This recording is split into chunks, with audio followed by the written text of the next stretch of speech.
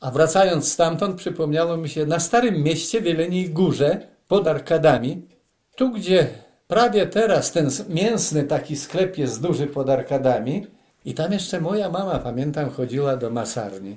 Tam była duża za Niemców rzeźnia i za Polaków była. I co się dzieje?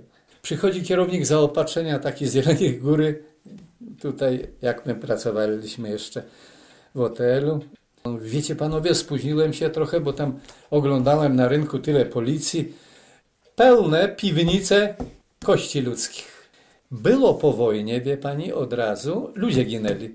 Ktoś pojechał do Jeleniej Góry, poszedł do masarni, nie ma. Oni mieli taką zapadnię przy, poważnie, przy ladzie i jak nikogo nie było, tylko jedna osoba na przykład, nacisnął na pedał i kobieta spadała, a tam już oprawili ją. I to takie panie tęgie, tęgabę brali, żeby dużo było ciała.